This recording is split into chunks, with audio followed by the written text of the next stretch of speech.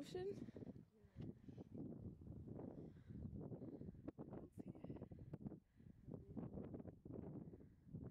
Oh yeah.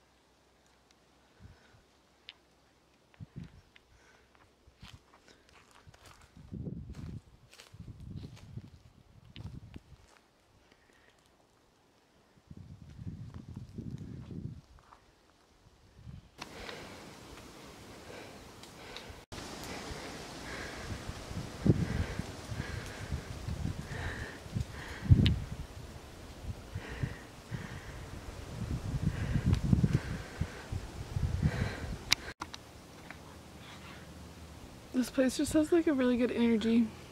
Right? I like the tree.